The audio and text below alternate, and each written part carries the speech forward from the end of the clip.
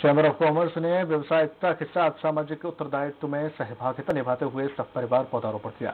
इस कार्यक्रम में जिलाधीश कार्तिकेय गोयल और पुलिस कप्तान नीथू कमल ने भी पहुंचकर पौधारोपण में भाग लेकर सभी को पौधे लगाने के लिए प्रेरित किया है। चैम्बर ऑफ़ कॉमर्स ने व्यवसायिकता के साथ सामाजिक उत्तरदायित्व में भी एक कदम बढ़ाया और कृषि उपज मंडी स्थित प्रांगण में सब परिवार पहुंचकर पौधारोपण किया।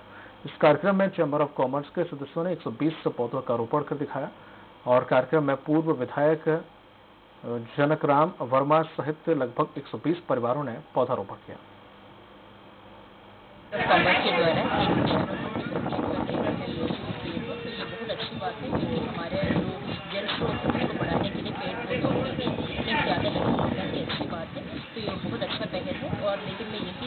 बहुत अच्छा लग रहा है, बहुत खुशी हो रही है। सब लोगों के साथ में मिलकर जो अपन ने कार्यक्रम किया है, बहुत ही सराहनीय कार्यक्रम आज इस समय की मांग है कि हम सबको मिलके पेड़ ज़रूर लगाना चाहिए। और इसी के तहत हम सब चैम्बर ऑफ़ कॉमर्स वालों ने निर्णय लिया कि हम सब पेड़ लगाएँगे।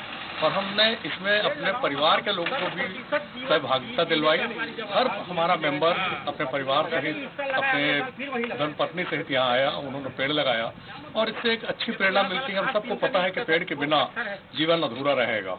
आने वाली पीढ़ी के लिए एक ये वरदान साबित होगा, अगर हम सब पेड़ लगाते हैं। परिवार आए हैं, इसलिए पर्यावरण प्रदूषित होते जा रहा है। पेड़ पौधे पूरे कटते जा रहे हैं। तो पेड़ पौधे आने वाले समय में पानी की बहुत कमी होती जा रही है। तो उसकी वजह से अपन सोचते हैं कि पर यानी पेड़ पौधे लगाएँगे तो जीवन बढ़ेगा, पानी रहेगा हमारे आने वाली पीढ़ियों को भी पानी मिलेगा और पर्यावरण अच्छा रहेगा।